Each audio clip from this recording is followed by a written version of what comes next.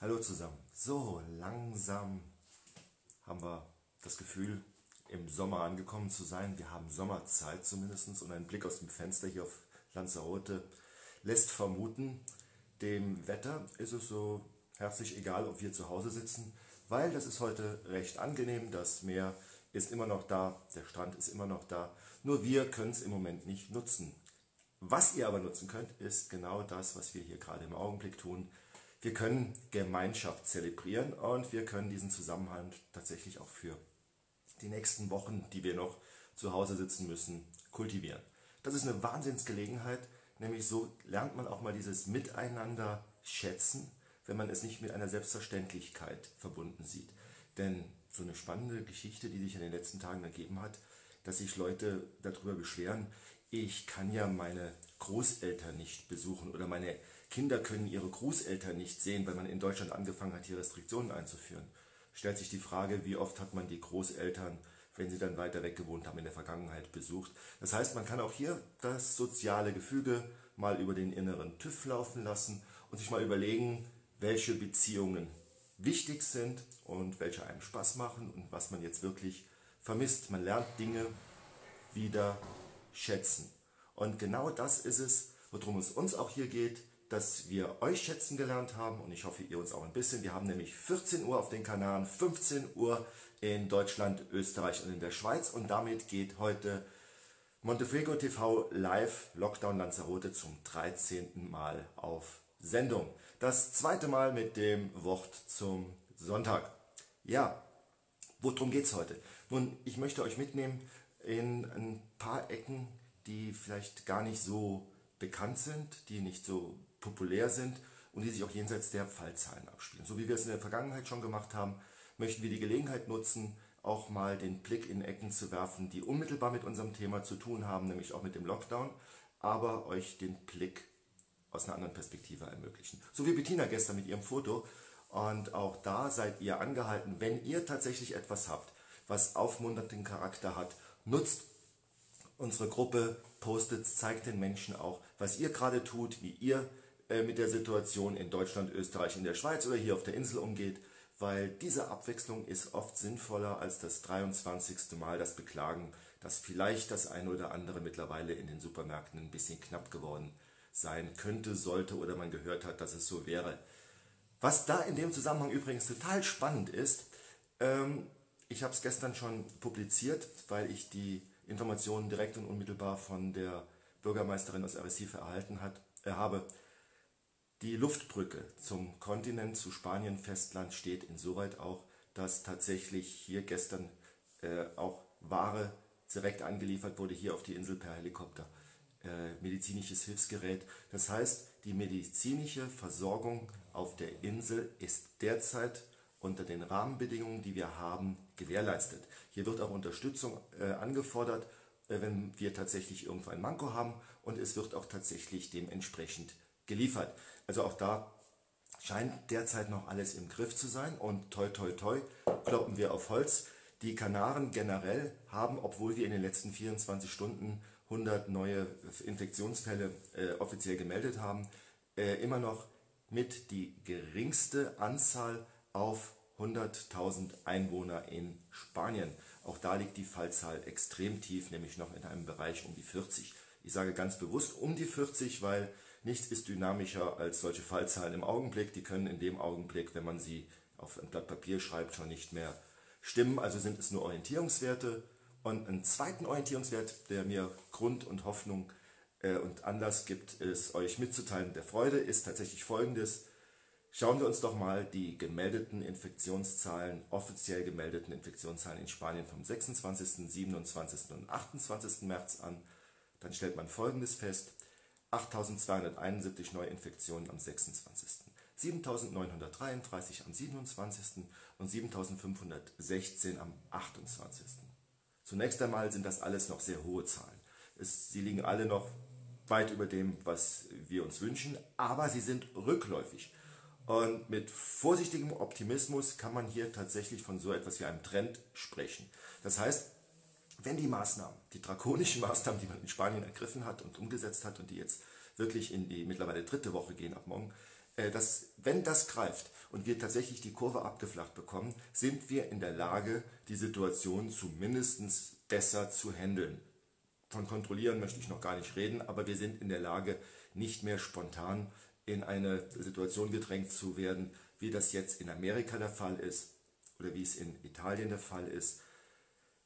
Ein Beispiel dazu, denn es hat ja auch soziale Komponenten. Und das ist jetzt ein Bereich, Leute, denkt mal über Folgendes nach. Es gab bis vor gar nicht allzu langer Zeit Menschen, die haben immer noch davon erzählt, dass das alles nur gehypt wäre, dass das alles keine Konsequenzen hat und dass es ein Jahr wie jedes andere ist und dass man äh, tatsächlich hier so etwas wie ein, ein Märchenfolge leisten würde.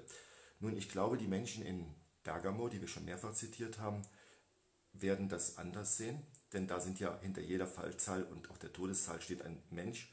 Aber diese Zahlen haben mittlerweile Größen entwickelt, dass man, und ich habe es schon beschrieben und berichtet, in Bergamo äh, gibt es ganze Züge an Bestattungswagen, die den Ort verlassen und zum Krematorium fahren. In New York City haben wir eine ganz, ganz andere Situation. Da ist mittlerweile die Todesrate so hoch, dass die klassischen Aufbewahrungsmöglichkeiten ausgehen. Das bedeutet, dort werden Kühlwagen, Kühltrucks umfunktioniert, um die Leichen darin zu transportieren, aber auch aufzubewahren. Das heißt, wir haben eine Situation, die tatsächlich dem Begriff Ausnahmezustand wirklich sehr nahe kommt. Und wenn der Präsident der Vereinigten Staaten äh, vor einiger Zeit noch gesagt hat, warten wir einfach auf den April, da werden die Temperaturen wärmer, dann wird sich das schon von alleine regen, das ist wie beim Schnupfen, glaube ich, beim Anblick dieser gestapelten Toten in den Kühlwagen sollte man sich mal überlegen, ob man das als normal bezeichnet. Wir haben auch eine Situation, und da bedanke ich mich ganz, ganz äh, besonders bei Nadine Brandt. Sie ist eine persönliche Freundin von uns und auch von mir. Äh, sie leitet eine Reiseagentur, ein äh, Reisebüro, genau genommen zwei Unternehmen in Marokko, drüben in Marrakesch, ist eine Deutsche. Und sie ist eine sehr ambitionierte Bloggerin, die ihre Informationen auch tatsächlich aus validen Quellen bezieht. Und das Spannende da ist jetzt, dass sie mir eine Sache beschrieben hat, die jenseits von dem liegt, was wir allgemein kennen aus Urlaubsregionen. Sie sagt, bei uns in unmittelbarer Nähe, weil auch da kann man sich mehr allzu frei bewegen, ist ein Friedhof neu installiert worden für die Toten, die man zu erwarten hat aus dieser Pandemie heraus. Und sie schilderte, weil sie das dann gesehen hat, wie sich dieser Ritus einer Beerdigung jetzt da abspielt. Und das deckt sich mit dem, was in dem neuen königlichen Dekret steht, äh, auch verabschiedet für Spanien, heißt es, und man kann es nachlesen in der äh, aktuellen oder in der vorletzten BOE, äh, dem Bulletin, dass tatsächlich auch die Schnellbestattungen, Beerdigungen in Spanien mittlerweile zulässig sind. Das bedeutet, die Aufbewahrungsfrist und all das wird deutlich reduziert. Was das für Konsequenzen hat, kann man sich vorstellen. Auf der einen Seite ist es klar, man möchte tatsächlich, dass diese Menschen so schnell wie möglich, so brutal wie es ist, äh, entweder unter die Erde oder ins Krematorium kommen, weil äh, sie als äh, Leichnam eine Lösung bedürfen und ein Problem darstellen. Auf der anderen Seite, nehmen wir es mal menschlich, ist es nicht einer der wesentlichsten und wichtigsten Momente im Leben, im sozialen Gemeinwesen, Abschied zu nehmen, einen würdigen Rahmen zu schaffen äh, für die Menschen, die man ein Leben lang begleitet hat?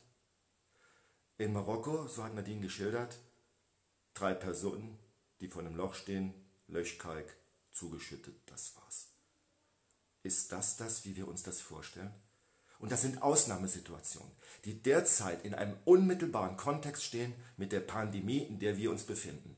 Und habt bitte Verständnis dafür, dass das für mich jedwede Verschwörungstheorie ad absurdum führt. Denn diese Diskussion haben wir noch zu keinem Zeitpunkt gehabt. Diese Konsequenzen haben wir noch zu keiner Zeit mit der klassischen Influenza gehabt. Das lief alles im geregelten Umfeld ab und wir hatten zumindest die Gelegenheit, unsere Kranken zu verpflegen.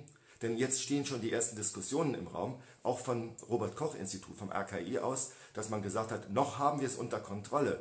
Aber die Triage kann auch in Deutschland ein Thema werden.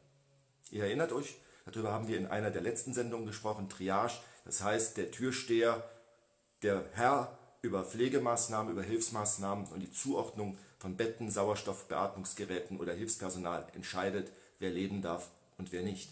Also hört bitte auf, irgendwelchen kruden Verschwörungstheorien äh, Raum zu geben oder jetzt noch in Frage zu stellen, ob diese Maßnahmen, die wir hier ergriffen haben, sinnvoll sind oder nicht. Dann zu einem ganz anderen Thema, und zwar zwei Propheten, die offensichtlich den Nerv getroffen haben oder tatsächlich im Augenblick die Corona-Krise vorhergesagt haben. Ich habe es eben publiziert. Es gibt da eine ganz, ganz spannende äh, Sache, die im Moment viral geht. Man muss ja mit diesem Begriff jetzt vorsichtig sein, aber tatsächlich sich im Netz verbreitet.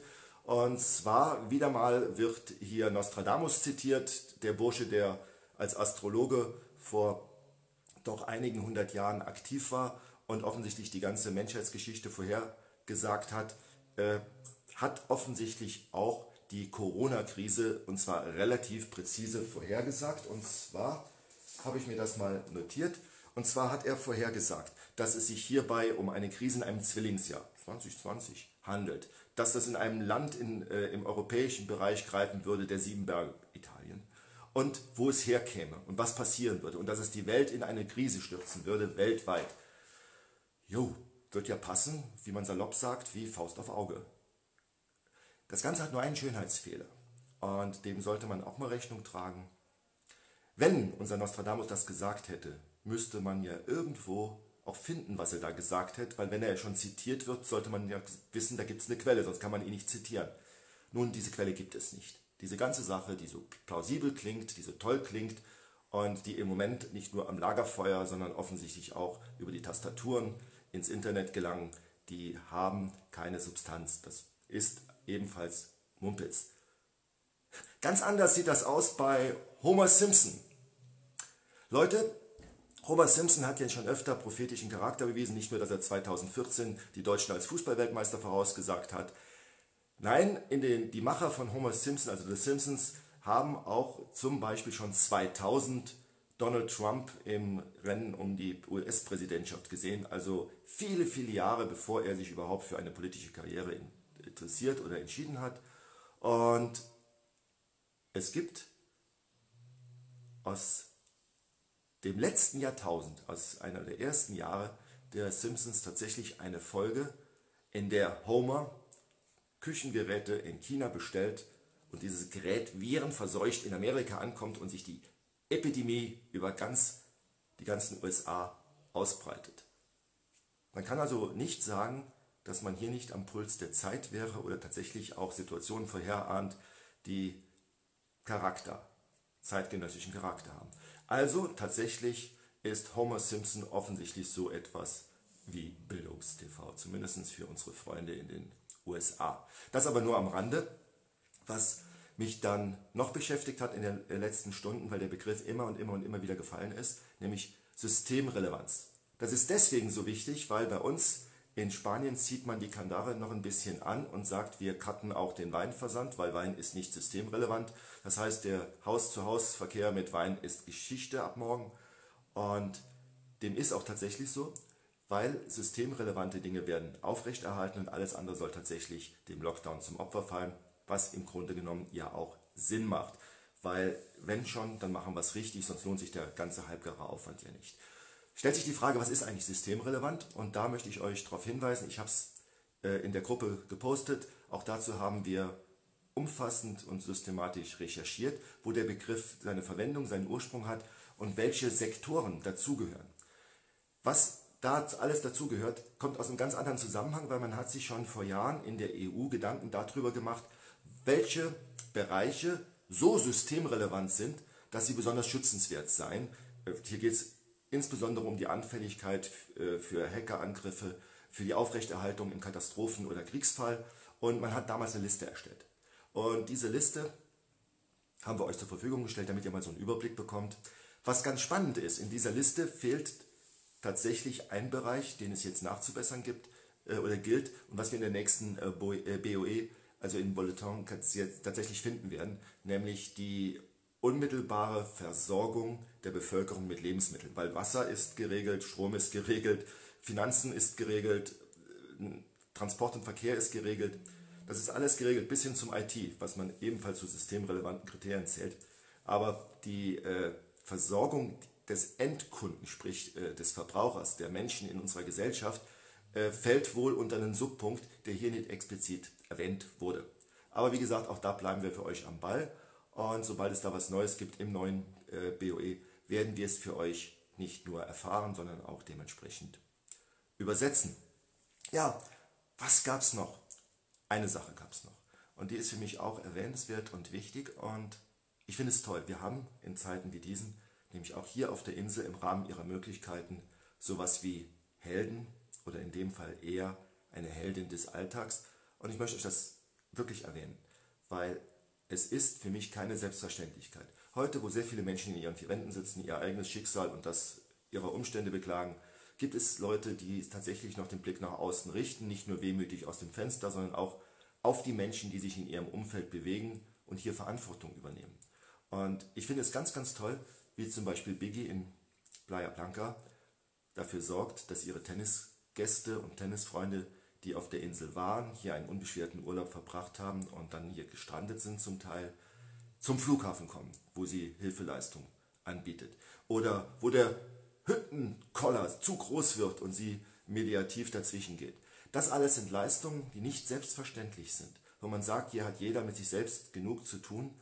Ähm, ich finde es toll. Ich finde es unglaublich toll, wenn man sich hier auch nach außen noch immer orientiert, trotz des Lockdowns, denn Freunde, das ist möglich. Man kann immer noch achtsam sein und empfänglich sein für die Wellen und Strömungen, die von außen kommen.